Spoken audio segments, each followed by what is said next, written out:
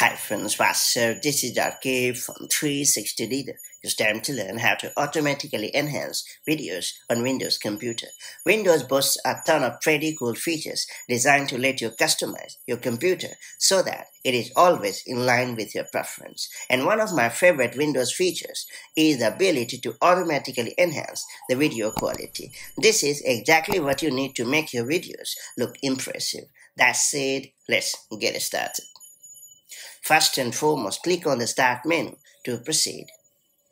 After that, choose the Settings app. Then select Apps in the left sidebar. After that, choose Video Playback. And now turn on the toggle right next to process video automatically to enhance it and you are good to go.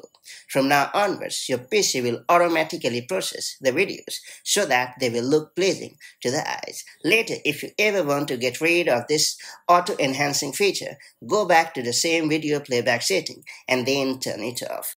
And that's pretty much it. So that's how you can easily enhance videos on a Windows computer so that they will always look impressive. If you found this video helpful, do like and share it and I'll see you in the next video with more such handy Windows tips and tricks. Till then, stay safe and have a good time. Bye-bye.